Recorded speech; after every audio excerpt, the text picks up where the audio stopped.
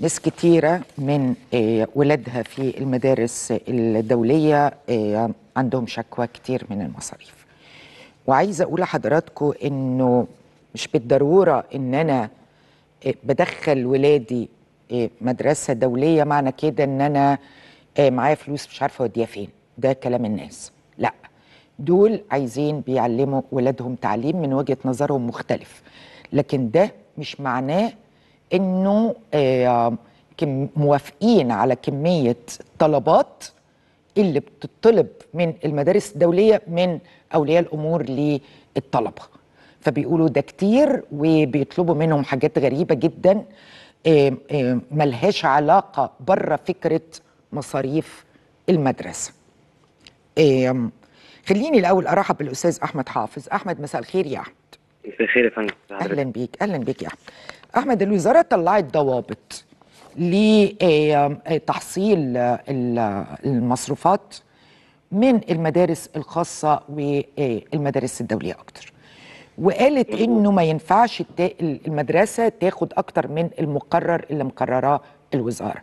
أنت على رأي على أرض الواقع وأنت محتك من خلال صفحتك وعلى السوشيال ميديا بالناس شايف إن ده بيحصل؟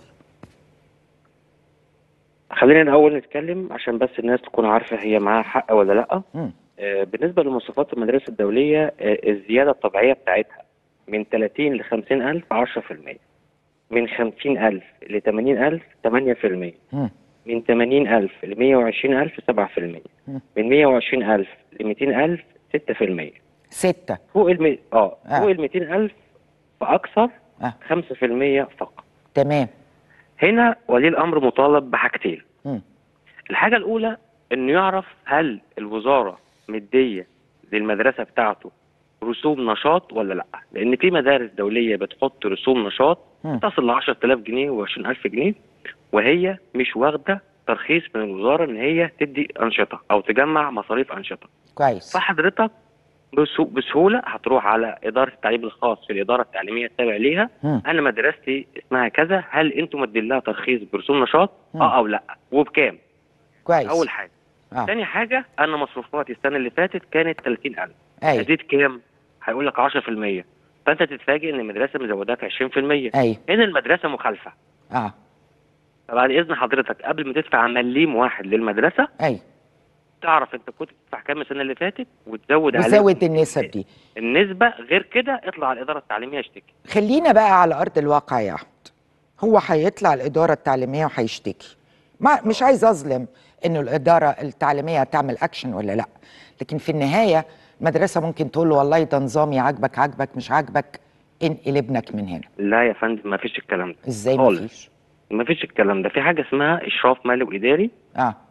في في ثلاث عقوبات. في إنذار وإنذار تاني ووضع الإشراف تحت وضع المدرسة تحت الإشراف المالي والإداري يعني الوزارة تاخدها تديرها من صاحبها ايا ما كانت الجهة بس دي في. الكوارث الكبيرة مش في المصاريف أعتقد لا يا يعني. فندم المصاريف مخالفة إدارية يا فندم. تمام. المصاريف مخالفة إدارية ومالية. مم. بالعكس بالعكس.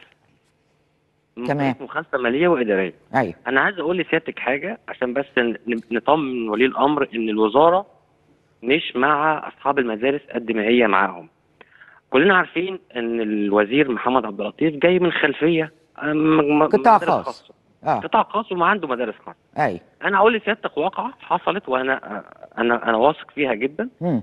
هو آه، عمل اجتماع معاهم علشان خاطر يط- يطالبهم بتطبيق الحد الأدنى للاجور اللي الرئيس حطه في القطاع الخاص 6000 جنيه.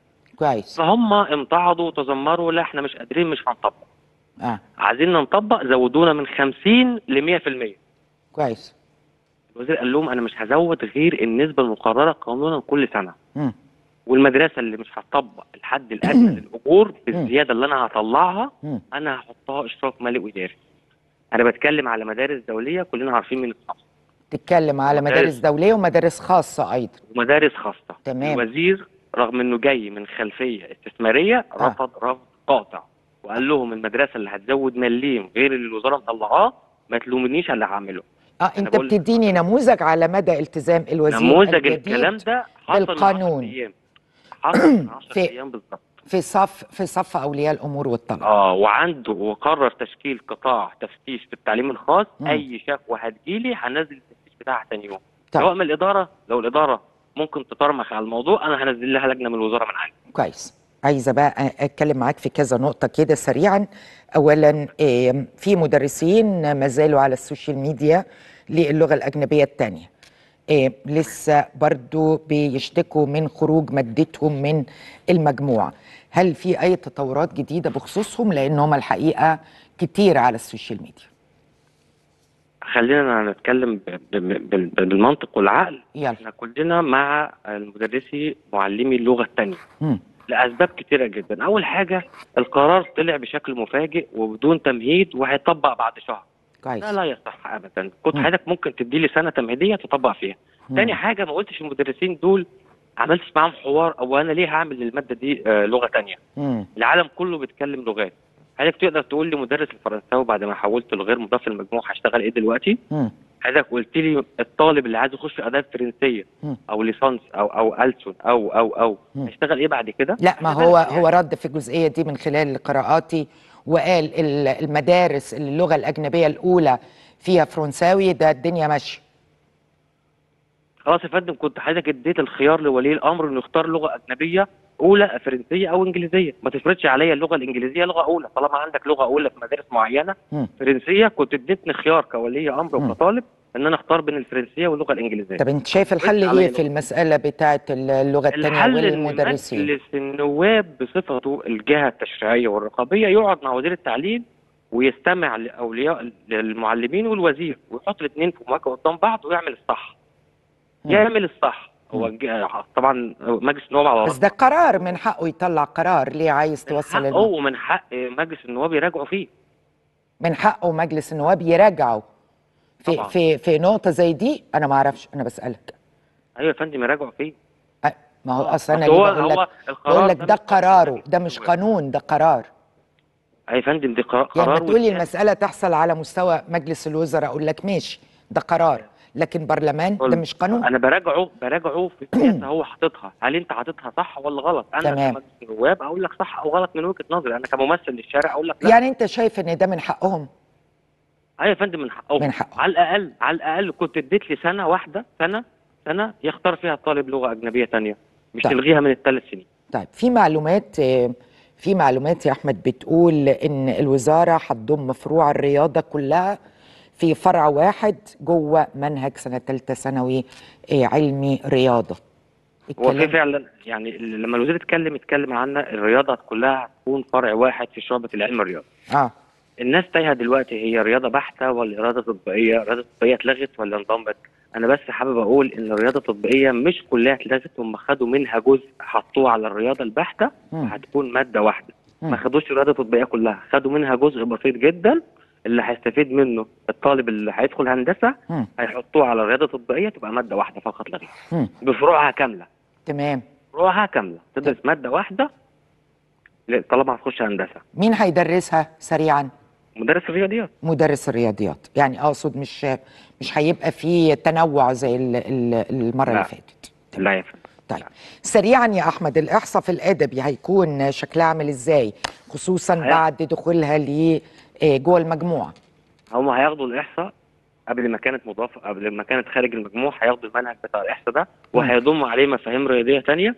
المادة على فكرة مش هتكون صعبة زي ما إحنا متخيلين. آه. هتكون مادة بسيطة هتفهمك أصول علم ال- البيانات وعلم الرياضة. لو انت حابب الناس خايفة بتقول لك أنا داخله أدبي أذاكر أنا وأدرس أحصاء ليه؟